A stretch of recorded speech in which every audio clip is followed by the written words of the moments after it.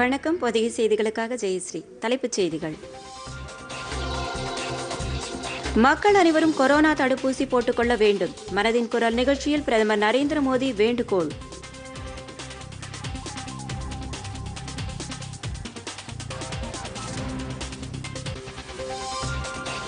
கேரளாவில் மாற்று அரசியலை பிஜேபி வழங்கும். திருவனந்தபுரம் பிரச்சாரத்தில் அமைச்சர் ராஜ்நாத் சிங் உறுதி.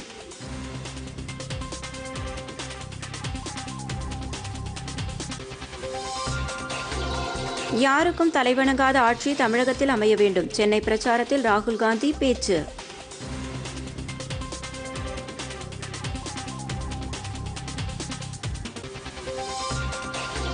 ஈஸ்டருக்கு முன்பாக நடைபெறும் குருத்தோலை ஞாயிறு பவனி. பல்வேறு இடங்களில் ஏராளமானோர் பங்கேற்பு.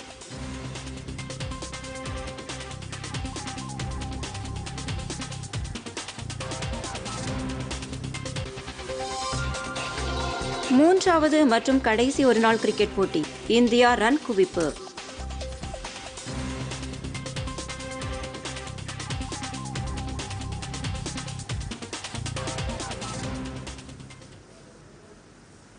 விரிவான செய்திகள்.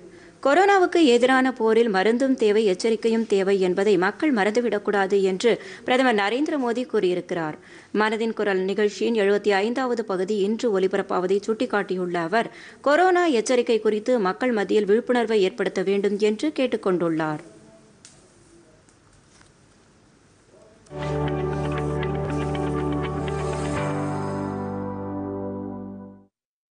அனைத்து துறைகளிலும் புதுமை நவீனத்துவம் ஆகியவை மிகவும் அவசியம் என்பதை அனைவரும் உணர்ந்து கொள்ள வேண்டும் என்றும் விவசாய துறையிலும் நவீனமயமாக்கல் என்பது காலத்தின் தேவை என்றும் பிரதமர் நரேந்திர மோடி தெரிவித்துள்ளார். விவசாயிகளின் வருவாயை அதிகரிக்கவும் பாரம்பரியமான விவசாயத்துடன் புதிய சாத்தியக்கூறுகளையும் கண்டுபிடிப்புகளையும் ஏற்பது அவசியமானது என்றும் அவர் குறிப்பிட்டார். வெண்மை புரட்சியின் போது நாடு இதை அனுபவ ரீதியாக உணர்ந்ததை அவர் சுட்டிக்காட்டினார். இத்தகைய ஒரு முன்முயற்சியின் காரணமாகவே குஜராத்தில் பனாஸ்காண்டா பகுதியில் தேன் உற்பத்தி அதிகரிக்கப்பட்டது என்றும் தற்போது அங்குள்ள விவசாயிகள் தேன் உற்பத்தி மூலம் லட்சக்கணக்கில் ஆண்டுதோறும் வருமானம் ஈட்டி வருகிறார்கள் என்றும் பிரதமர் குறிப்பிட்டார். தேனீக்கள் வளர்ப்பில் தேன் மூலம் மட்டுமே வருமானம் கிடைப்பதில்லை என்றும் மாறாக மெழுகும் வருவாயை அதிகப்படுத்துவதற்கு வாய்ப்பாக அமைந்துள்ளது என்று அவர் குறிப்பிட்டார். கடல்சார் இந்தியா உச்சி மாநாட்டில் கலங்கரை விளக்கங்களுக்கு அருகே சுற்றுலா வசதிகளை மேம்படுத்த வேண்டும் என்று தாம் பேசியதை நினைவில் வைத்து குரு பிரசாத் என்பவர் தமிழகத்தின் இரண்டு கலங்கரை விளக்கங்களுக்கு பயணித்த அனுபவத்தை விளக்கியிருப்பதாக பிரதமர் தெரிவித்தார். சென்னையில் இருக்கும் கலங்கரை விளக்கம் உலகிலேயே மின் தூக்கி இருக்கும் வெகு சில கலங்கரை விளக்கங்களில் ஒன்று என்பதுடன் நகர எல்லைக்குள்ளேயே அமைந்துள்ள ஒரே கலங்கரை விளக்கம் என்று அவர் குறிப்பிட்டுள்ளார். கலங்கரை விளக்கத்தின் பாரம்பரிய அருங்காட்சியகம் பற்றியும் நாட்டின் மிக பழமையான மகாபலிபுரம் கலங்கரை விளக்கம் குறித்தும் குரு பிரசாத் விரிவாக எழுதியிருப்பதை குறிப்பிட்டுள்ள பிரதமர் இந்த கலங்கரை விளக்கத்தின் அருகிலேயே ஆயிரக்கணக்கான ஆண்டுகளுக்கு முன்பு பல்லவ மன்னர் மகேந்திரவர்மன் கட்டிய உலகனீஸ்வரர் கோயில் உள்ளதை சுட்டிக்காட்டியுள்ளார் प्रसाद जी ने विस्तार से लिखा है उनका कहना है इस लाइट हाउस के बगल में सैकड़ों वर्ष पहले पल्लव राजा महेंद्र वर्मन प्रथम द्वारा बनाया गया उल्कनेश्वरा टेम्पल है साथियों मन की बात के दौरान मैंने पर्यटन के विभिन्न पहलुओं पर अनेक बार बात की है लेकिन ये लाइट हाउस टूरिज्म के लिहाज से यूनिक होते हैं अपनी भव्य संरचनाओं के कारण लाइट हाउसेस हमेशा से लोगों के लिए आकर्षण के केंद्र रहे हैं पर्यटन को बढ़ावा देने के लिए भारत में भी इकहत्तर seventy one lighthouses identify किए गए हैं இயற்கையை பேண வேண்டும் என்று குறிப்பிட்ட நரேந்திர மோடி தமிழகத்தின் கோயம்புத்தூரைச் சேர்ந்த பேருந்து நடத்துனர் மாரிமுத்து யோகநாதன் பயணிகளுக்கு மரக்கன்றுகளை இலவசமாக அளித்து வருவது பற்றி குறிப்பிட்டார் ஏராளமான மரங்கள் நடுவதற்கு இவர் காரணமாக இருந்திருக்கிறார் என்றும் தனது வருவாயின் கணிசமான பகுதியை இந்த பணிக்காகவே செலவு செய்து வருகிறார் என்றும் குறிப்பிட்டுள்ள பிரதமர் மாரிமுத்து யோகநாதனின் பணியை பாராட்டி இதயபூர்வமான வாழ்த்துக்களை தெரிவித்துக் கொண்டுள்ளார் जैसे तमिलनाडु के कोयम्बटूर में बस कंडक्टर का काम करने वाले मरीमुथु योगनाथन जी हैं। योगनाथन जी अपनी बस के यात्रियों को टिकट देते हैं तो साथ में ही एक पौधा भी मुफ़्त देते हैं। इस तरह योगनाथन जी न जाने कितने ही पेड़ लगवा चुके हैं। योगनाथन जी अपने वेतन का काफ़ी हिस्सा इसी काम में खर्च करते आ रहे हैं। अब इसको सुनने के बाद ऐसा कौन नागरिक होगा जो मरीमुथु योगनाथन जी के काम की प्रशंसा न करे मैं हृदय से उनके इस प्रयासों को बहुत बधाई देता हूं उनके इस प्रेरक कार्य के लिए யோகக்கலை ஆயுர்வேதம் தத்துவங்கள் போன்ற நமது பாரம்பரிய பழக்கங்களை பராமரிக்க வேண்டும் என்று அவர் கேட்டுக்கொண்டார் புதியனவற்றை அடைவதுதான் வாழ்க்கை என்ற போதிலும் நமது பண்டைய மரபுகளை இழந்துவிடக் கூடாது என்று அவர் கேட்டுக்கொண்டார் விலைமதிப்பற்ற கலாச்சார பாரம்பரியத்தை பாதுகாப்பதுடன் அவற்றை வருங்கால சந்ததியினருக்கு கொண்டு சேர்க்க வேண்டும் என பிரதமர் வலியுறுத்தினார். ஊரடங்கு காலத்தில் மக்கள் காட்டிய ஒற்றுமையின் காரணமாக கொரோனா முன்கள பணியாளர்கள் கற்பனை செய்து பார்க்க முடியாத அளவுக்கு தீரத்துடனும் விடாமுயற்சியுடனும் போராடியதாக அவர் குறிப்பிட்டுள்ளார். கடந்த ஆண்டு இதே காலத்தில் தடுப்பூசி எப்போது வரும் என்று உலகமே எதிர்பார்த்து காத்திருந்ததாக கூறிய அவர் தற்போது தடுப்பூசி வந்துவிட்ட நிலையில் அனைவரும் அதனை போட்டுக்கொள்ள வேண்டும் என்று வலியுறுத்தினார். சர்வதேச கிரிக்கெட் போட்டிகளில் பத்தாயிரம் ரன்களை குவித்திருக்கும் முதல் இந்திய பெண் கிரிக்கெட் வீராங்கனை என்ற சாதனை படைத்திருக்கும் மித்தாலி ராஜுக்கு பிரதமர் வாழ்த்து தெரிவித்துள்ளார். அவருடைய கடினமான உழைப்பு மற்றும் வெற்றி ஆகியவை ஆண் கிரிக்கெட் வீரர்களுக்கும் தூண்டுதலாக இருக்கும் என்று அவர் குறிப்பிட்டுள்ளார். உலக கோப்பைக்கான துப்பாக்கிச் சுடுதல் போட்டியில் இந்தியா முதலிடத்தை பிடித்துள்ளதையும் சுவிட்சர்லாந்து ஓபன் பேட்மிண்டன் போட்டிகளில் பி வி சிந்து வெள்ளிப்பதக்கத்தை வென்றுள்ளதையும் நினைவு கூர்ந்த பிரதமர் விளையாட்டு வீரர்கள் மற்றும் வீராங்கனைகளுக்கும் பாராட்டு தெரிவித்தார். தங்க கடத்தல் விவகாரம் குறித்து கேரள மாநில அரசு மத்திய அரசு முகமைகளுக்கு எதிராக நீதி விசாரணை நடத்த முடிவு செய்திருப்பது அரசியல் சாசனத்தின் கூட்டாட்சி தத்துவத்திற்கு எதிரான செயல் என்று பிஜேபி மூத்த தலைவரும் பாதுகாப்புத்துறை அமைச்சருமான ராஜ்நாத் சிங் கூறியிருக்கிறார். திருவனந்தபுரத்தில் செய்தியாளர்களிடம் பேசிய அவர் மத்திய முகமைகளுக்கு எதிராக விசாரணை நடத்த கேரள மாநில அமைச்சரவை முடிவு செய்திருப்பதை சுட்டிக்காட்டினார். பின்னர் தேர்தல் பிரச்சாரத்தில் ஈடுபட்ட அவர் கேரள மாநிலத்தில் பிஜேபி ஆட்சிக்கு வந்தால் அடிக்கடி நடைபெறும் அரசியல் வன்முறைகளுக்கு முற்றுப்புள்ளி வைக்கப்படும் என அவர் தெரிவித்தார். இடதுசாரி கூட்டணி மற்றும் காங்கிரஸ் கூட்டணிகளின் சொல்லுக்கும் செயலுக்கும் வேறுபாடு அதிகமாக இருப்பதால் மக்கள் அந்த கட்சிகளின் மீது நம்பிக்கையை இழந்துவிட்டதாக ராஜ்நாத் சிங் தெரிவித்தார். கேரள மாநிலத்தில் புதிய அரசியல் மாற்று தேவை என்பதை மக்கள் விரும்புவதாகவும் அந்த மாற்று அரசியலை பிஜேபி அளிக்கும் என்றும் அவர் கூறினார். இடதுசாரி கூட்டணி அளித்த வாக்குறுதிகளை நிறைவேற்றுவது பற்றிய நடவடிக்கை அறிக்கையை வெளியிட வேண்டுமென்று அவர் வலியுறுத்தினார். கேரள மாநிலத்தில் பிஜேபி ஆட்சி அமையுமானால் சபரிமலையில் காலம் காலமாக பின்பற்றி வரும் பாரம்பரிய நடைமுறைகளை பாதுகாக்க சட்டம் இயற்றப்படும் என அமைச்சர் தெரிவித்தார். பின்னர் வர்கலா தொகுதியில் சாலையில் பயணித்து மக்களை சந்தித்து ராஜ்நாத் சிங் வாக்கு சேகரித்தார். தில்லியிலிருந்து நடைபெறும் ஆட்சியாக இல்லாமல் தமிழகத்தில் தமிழ தமிழகமே நடத்தும் ஆட்சியாக அமைய வேண்டும் என காங்கிரஸ் கட்சியின் முன்னாள் தலைவர் ராகுல் காந்தி கூறியிருக்கிறார். சென்னையில் இன்று பிரச்சாரம் செய்த அவர் மக்களால் தேர்ந்தெடுக்கப்பட்ட அரசு மத்திய அரசின் விருப்பத்திற்கு ஏற்ப செயல்படுவதாக குறை கூறினார். தமிழக மக்களை சகோதர சகோதரிகளாக தாம் கருதுவதாக அவர் தெரிவித்தார். அனைத்து மொழிகளுக்கும் மரியாதை அளிக்க வேண்டும் என்பதே காங்கிரஸ் கட்சியின் நோக்கம் என்று அவர் கூறினார். தமிழர்கள் சுயமரியாதை கொண்டவர்கள் என தெரிவித்த ராகுல் காந்தி தமிழர்கள் வரலாற்றில் யாருக்கும் அவர்கள் தலைகுனிந்தது இல்லை என்று தெரிவித்தார். தமிழகத்தில் அஇஅதிமுக ஆட்சியை அகற்றுவதற்காகவே திமுகவுடன் கூட்டணி வைத்திருப்பதாக அவர் தெரிவித்தார்.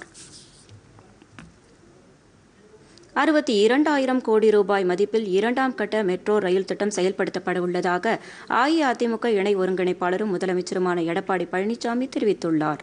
சென்னையில் பல்வேறு தொகுதிகளில் இன்று பிரச்சாரம் மேற்கொள்ளும் அவர் ராயபுரம் கல்மண்டபம் பகுதியில் பேசுகையில் மெட்ரோ ரயில் திட்டத்தை செயல்படுத்தியது அஇஅதிமுக அரசு என்றார். சென்னையில் மின்தடையே இல்லாத நிலையை அஇஅதிமுக அரசு ஏற்படுத்தியுள்ளதாக தெரிவித்த முதலமைச்சர் தமிழகத்தில் சட்டத்தின் ஆட்சி நிலை நிறுத்தப்பட்டுள்ளதாக கூறினார். போக்குவரத்து நெரிசல் இல்லாத நகரமாக சென்னையை மாற்றுவோம் என்று அவர் குறிப்பிட்டார். காஞ்சிபுரம் மாவட்டத்தில் பாமக நிறுவனர் ராமதாசு பிரச்சாரம் மேற்கொண்டார். காஞ்சிபுரம் மாவட்டத்தில் போலி பட்டு சேலைகளை உற்பத்தி செய்யும் கும்பல் அதிகரித்து வருவதாகவும் அதனை அடுத்து நெசவு தொழிலை பாதுகாக்க நடவடிக்கை எடுக்கப்படும் என்றும் அவர் கூறினார். ஒரு சொட்டு சாராயம் கூட இல்லாத தமிழகத்தை உருவாக்க தாம் பாடுபட்டு வருவதாக அவர் தெரிவித்தார். கோவையில் பிரச்சாரம் மேற்கொண்ட தமாக தலைவர் ஜி கே வாசன் திமுக தொடர்ந்து பொய்யான வாக்குறுதிகளை அளித்து வருவதாக மக்களை ஏமாற்றி வருவதாக தெரிவித்தார். மத்திய அரசிடம் இணக்கமாக இருப்பதால் தமிழக அரசு பல திட்டங்களை நிறைவேற்றி இருப்பதாக அவர் கூறினார். மாநில அரசு பணிகளில் காலியாக உள்ள மூன்று லட்சத்திற்கும் மேற்பட்ட பணியிடங்கள் திமுக ஆட்சிக்கு வந்தால் உடனடியாக நிரப்பப்படும் என்று அக்கட்சியின் தலைவர் மு ஸ்டாலின் தெரிவித்துள்ளார். ஈரோடு மாவட்டம் கோபிச்செட்டிப்பாளையத்தில் திமுக மற்றும் அதன் கூட்டணி கட்சி வேட்பாளர்களை ஆதரித்து பிரச்சாரம் மேற்கொண்டு அவர் பேசினார். அப்போது திமுகவின் தேர்தல் வாக்குறுதிகளை சுட்டிக்காட்டி பேசிய அவர் தமிழக அரசு பணிகளில் தமிழ்நாட்டு இளைஞர்களுக்கு அதிக முன்னுரிமை வழங்கப்படும் என்று கூறினார். தமிழ் மொழி பண்பாட்டின் உரிமைகள் பாதுகாக்கப்படும் என்றும் விலைவாசி உயர்வை கட்டுப்படுத்த பெட்ரோல் டீசல் விலையை குறைக்க நடவடிக்கை எடுக்கப்படும் என்றும் அவர் தெரிவித்தார். விவசாயிகள் நெசவாளர்கள் பெண்களின் பாதுகாப்பு உறுதி செய்யப்படும் என்று அவர் கூறினார். ஈரோடு மாவட்டத்திற்கு உட்பட்ட பகுதிகளில் செயல்படுத்தப்பட உள்ள திட்டங்களை பட்டியலிட்ட அவர் சத்தியமங்கலத்தில் நறுமண தொழிற்சாலை அமைக்கப்படும் என்றும் பவானியில் புறவழிச்சாலை அமைக்கப்படும் என்றும் தெரிவித்தார். மேலும் அந்தியூரில் அரசு தொழில்நுட்ப கல்லூரி அமைக்கப்படும். உள்ளாட்சியில் தனியாக வசூலிக்கப்படும் குப்பை வரி நீக்கப்படும் என்றும் அவர் தெரிவித்தார். முன்னதாக திருப்பூர் மாவட்டம் காங்கேயம் பகுதியில் பிரச்சாரம் செய்த அவர் நதிகளை இணைக்க மத்திய அரசு திமுக வலியுறுத்தும் என்று தெரிவித்தார். புதுச்சேரி சட்டமன்ற தேர்தலுக்கான காங்கிரஸ் கட்சியின் தேர்தல் அறிக்கை இன்று வெளியிடப்பட்டுள்ளது. புதுச்சேரிக்கு முழுமையான மாநில அந்தஸ்து பெற்றுத்தரப்படும் என்று அக்கட்சி கூறியுள்ளது. புதுச்சேரி அரசு மத்திய அரசிடம் பெற்ற அனைத்து கடன்களையும் ரத்து செய்ய நடவடிக்கை எடுக்கப்படும். நீட் தேர்வை ரத்து செய்ய நடவடிக்கை மேற்கொள்ளப்படும். புதுச்சேரிக்கு தனி கல்வி வாரியம் அமைக்கப்படும்.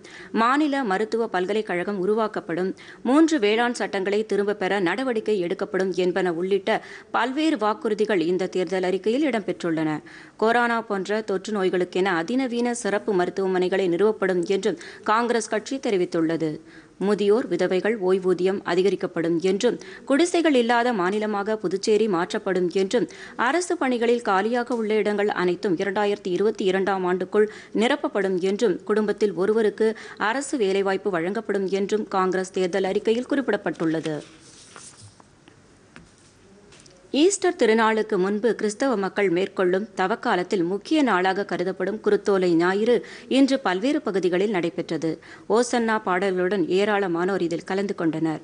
புகழ்பெற்ற சாந்தோம் தேவாலயத்தில் சென்னை மயிலை மறை மாவட்ட பேராயர் ஜார்ஜ் அந்தோணிசாமி தலைமையில் குருத்தோலை ஞாயிறு சிறப்பு ஆராதனை நடைபெற்றது. இந்த ஆராதனையில் ஏராளமான கிறிஸ்தவர்கள் கலந்து கொண்டனர்.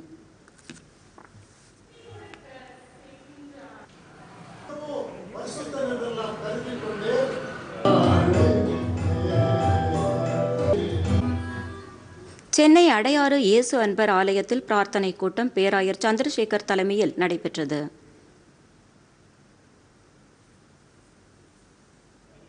மீனம்பாக்கம் சிஎஸ்ஐ பீட்டர்ஸ் தேவாலயத்தில் நடைபெற்ற பிரார்த்தனை கூட்டத்தில் பெரும் திரளான மக்கள் கலந்து கொண்டனர். பேராயர் சைலஸ் ஜானதாஸ் தலைமையில் ஆராதனை நடைபெற்றது.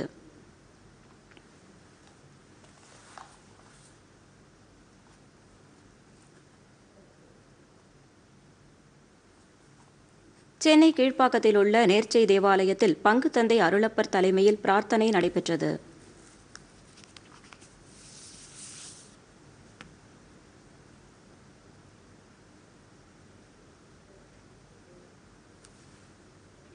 சென்னை அமைந்தகரை ரயில்வே காலனியில் அமைந்துள்ள விண்ணேற்ற ஆண்டவர் தேவாலயத்தில் பங்கு தந்தை தைனீஸ் தலைமையில் ஆராதனை நடைபெற்றது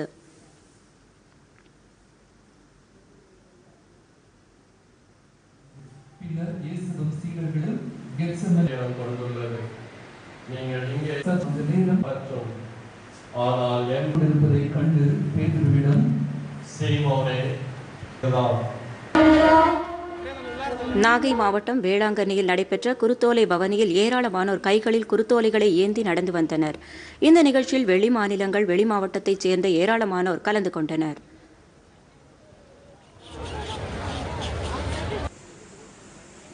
கன்னியாகுமரி மாவட்ட தேவாலயங்களில் இன்று குருத்தோலை ஞாயிறு கொண்டாடப்பட்டது. கோட்டாறு சவேரியர் ஆலயத்தில் ஆசீர்வதிக்கப்பட்ட குருத்தோலைகள் வழங்கப்பட்டு அவற்றை ஏந்தியவாறு பலர் சன்னா பாடல்களை பாடி பவனி வந்தனர். ஆலயங்களில் திருப்பலி மற்றும் சிறப்பு வழிபாடுகள் நடைபெற்றன. இயேசு கிறிஸ்து சிலுவையில் அறையப்படுவதற்கு முன்பாக ஒரு கழுதை குட்டியின் மேல் அமர்த்தி ஜெருசலேம் நகரின் வீதிகள் வழியாக ஊர்வலமாக அழைத்துச் செல்லப்பட்டார். அப்போது வழிநடுக நின்ற மக்கள் ஆலிவ மர கிளைகளை கைகளில் பிடித்தபடி ஓசன்னா என்ற பாடலை பாடி மகிழ்ந்தனர். இந்த நிகழ்வை நினைவு கூறும் வகையில் ஆண்டுதோறும் கிறிஸ்தவ ஆலயங்களில் குருத்தோலை பவனி நடைபெறுவது வழக்கம். இந்த ஆண்டு கொரோனா பரவல் அச்சம் காரணமாக குருத்தோலை நிகழ்ச்சி ரத்து செய்யப்பட்டுவிட்டது.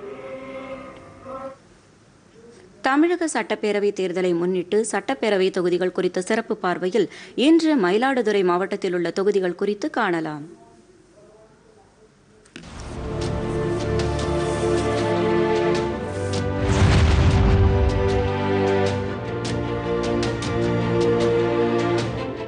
தமிழகத்தின் டெல்டா மாவட்டங்களில் ஒன்றான மயிலாடுதுறை மாவட்டம் சமீபத்தில் மாநிலத்தின் முப்பத்தி எட்டாவது மாவட்டமாக உருவாக்கப்பட்டது. விவசாயம் அது சார்ந்த தொழில்கள் மற்றும் விவசாயிகளின் பிரச்சனைகள் அவர்களது வாழ்வாதாரம் இதுவே இம்மாவட்டத்தின் முக்கிய கூறுகளாக உள்ளன. இம்மாவட்டம் பல முக்கிய சைவ வைணவ ஆலயங்களை கொண்டுள்ளதோடு நவக்கிரகங்களுக்கான பிரத்யேக பரிகார ஸ்தலங்களையும் கொண்டதாகும். தமிழ் இலக்கியத்தின் முக்கிய அணிகலன்களில் ஒன்றாக விளங்கும் இளங்கோவடிகளின் சிலப்பதிகாரத்தின் கதைக்களமாகவும் சோழ பேரரசின் தலைநகரமாகவும் இருந்த பூம்புகார் இம்மாவட்டத்தில் தான் உள்ளது. இம்மாவட்டத்தின் சில பகுதிகளில் மீன் வளர்ப்பு பண்ணைகள் அதிக எண்ணிக்கையில் உள்ளன. இம்மாவட்டம் சீர்காழி மயிலாடுதுறை பூம்புகார் ஆகிய சட்டப்பேரவை தொகுதிகளை தன்னகத்தே கொண்டுள்ளது. இம்மாவட்டத்தில் மொத்தமுள்ள ஏழு லட்சத்து எழுபத்தி இரண்டாயிரத்து முன்னூற்று எண்பத்தி மூன்று வாக்காளர்களில் மூன்று லட்சத்து எண்பதாயிரத்து தொள்ளாயிரத்து இருபத்தி ஏழு ஆண்களும் மூன்று லட்சத்து தொன்னூற்றோராயிரத்து நானூற்று இருபத்தி இரண்டு பெண்களும் மற்றவர்கள் முப்பத்தி நான்கு பேருமாக உள்ளனர். இரண்டாயிரத்து பதினாறாம் ஆண்டு நடந்த தேர்தலில் மூன்று தொகுதிகளிலும் அதிமுக வெற்றி பெற்றது.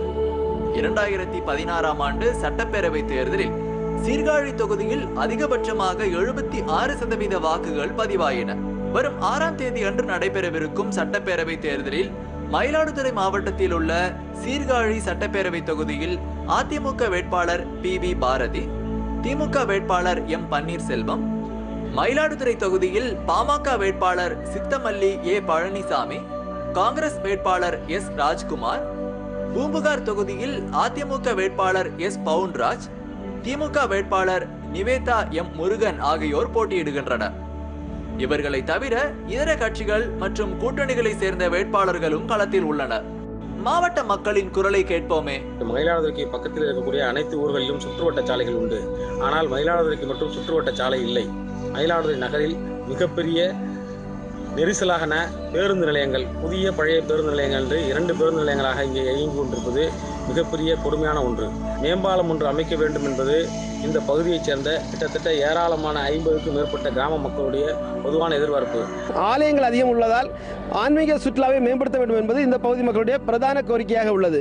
இதுபோல தரங்கம்பாடியில் ஆங்கிலேயர் காலத்தில் அமைக்கப்பட்ட ரயில் வழி பாதைகள் தற்போது இல்லாமல் உள்ளது. இந்த பாதைகள் மீண்டும் அமைக்கப்பட்டு ரயில் போக்குவரத்து தரங்கம்பாடிக்கு தொடங்கப்பட வேண்டும் என்பதும் இந்த பகுதி மக்களின் கோரிக்கையாக உள்ளது. மயிலாடுதுறை மாவட்ட வாக்காளர்கள் தங்களது வாக்குகளை பதிவு செய்யும் நாள் வரும் ஆறாம் தேதி. வாக்குகள் எண்ணப்பட்டு முடிவுகள் அறிவிக்கப்படும் நாள் மே மாதம் இரண்டாம் தேதி. கொரோனா தொற்றை தடுக்க முகக்கவசம் அணிவதே சிறந்த முன்னெச்சரிக்கை நடவடிக்கையாகும். இது குறித்த விழிப்புணர்வு பிரச்சாரம்.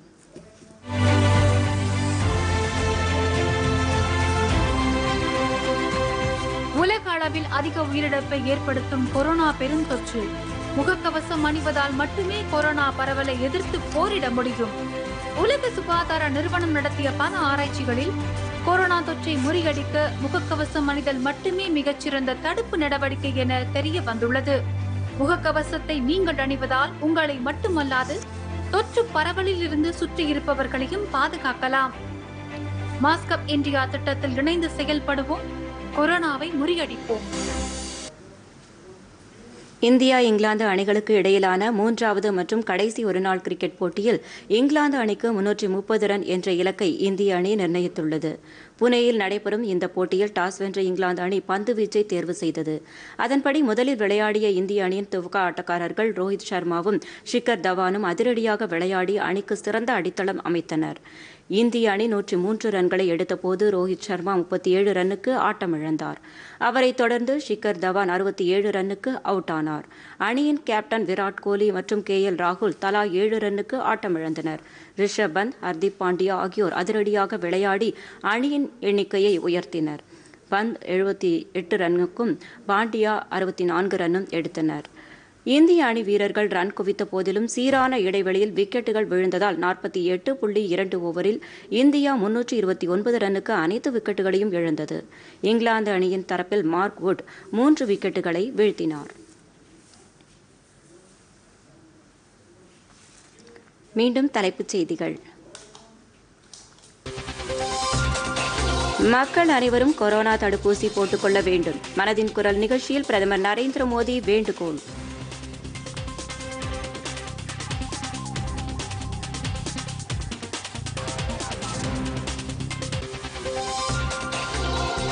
கேரளாவில் மாற்று அரசியலை பிஜேபி வழங்கும் திருவனந்தபுரம் பிரச்சாரத்தில் அமைச்சர் ராஜ்நாத் சிங் உறுதி.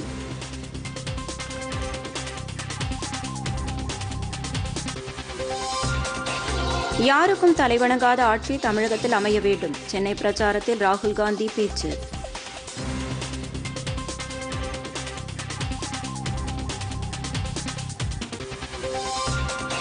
ஈஸ்டருக்கு முன்பாக நடைபெறும் குருத்தோலை ஞாயிறு பவனி. பல்வேறு இடங்களில் ஏராளமானோர் பங்கேற்பு.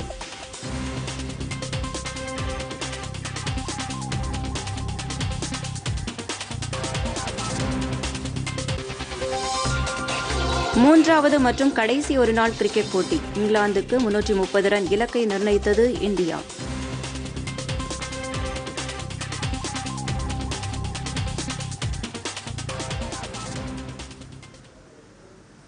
இத்துடன் செய்திகள் நிறைவடைந்தன. மீண்டும் செய்திகள் இரவு ஏழு மணிக்கு. வணக்கம்.